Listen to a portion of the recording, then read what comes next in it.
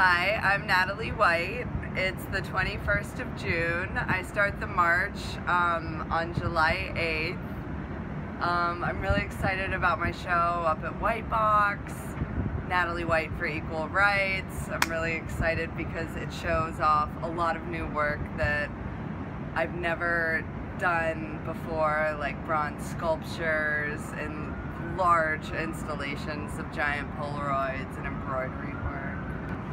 I would really like to help create awareness for the Equal Rights Amendment with this show and hopefully, you know, through that awareness, people can put pressure on their Congress people, senators, and presidential nominees to bring gender equality into the talk.